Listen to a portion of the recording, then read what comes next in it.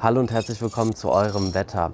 Wir sind ja super in den 1. Mai gestartet mit einem traumhaften Wetter mit viel Sonnenschein, ab und zu mal ein paar Wolken, aber relativ angenehmen Temperaturen.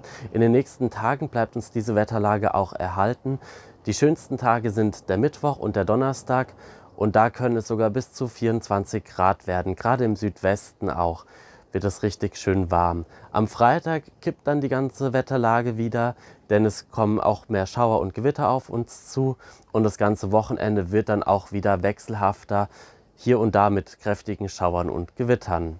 Das war's auch schon vom Wetter. Wenn es euch gefallen hat, lasst gerne einen Daumen nach oben da und abonniert diesen Kanal. Tschüss und bis bald.